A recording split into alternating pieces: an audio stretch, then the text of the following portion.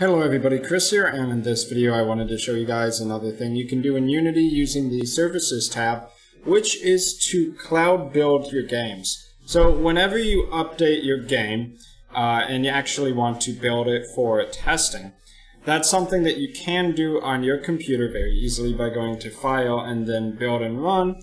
But one of the problems is, especially when you're on a team, that if everybody's building the project each time individually on their computer, that it can kind of be inefficient, right?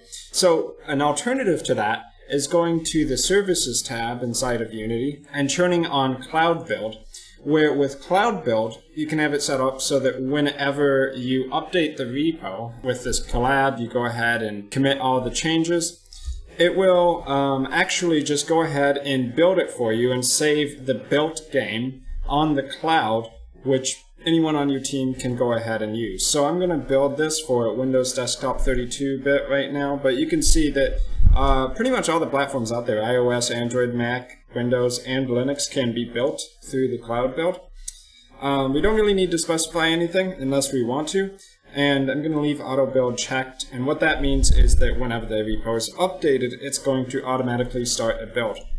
So next we just kind of hit build here, and it's going to go ahead and get that first build started. So we can see that it's got a build queued up. It's not going to be instantaneous, of course. Uh, another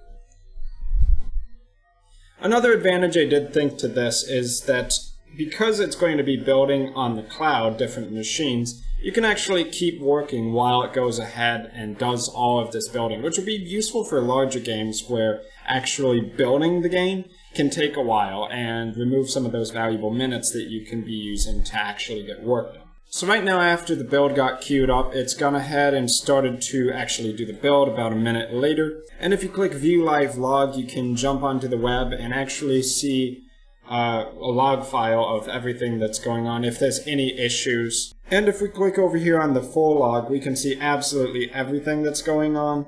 And you can see scrolling down this that it is pretty dang detailed. So in 99% of cases, you're not going to need to get this detailed about things unless there's actually a serious problem going on. But it's there if you do need it. One of the things that's cool is that it's a live log file, which means that it's going to constantly update as it's progressing with things. All of these lines that we see being added, these were added literally seconds ago. So we can see that it succeeded after 7 minutes, which is probably a bit longer than it would have taken to build this simple project on the local machine, but the difference is I didn't have to occupy my machine to do that. And now that it's built in the cloud, anyone in this project can go ahead and click the download button to get the most recently uh, cloud-built package for the game, which means one computer, the cloud, builds it, and we download it on our machines, and anybody on the project can have that built version of the game ready to go. So that's pretty much all there is to cloud building inside of Unity. The service is incredibly easy to use, but also quite useful. So I've been Chris, thanks for watching, and I will see you guys in my future video content.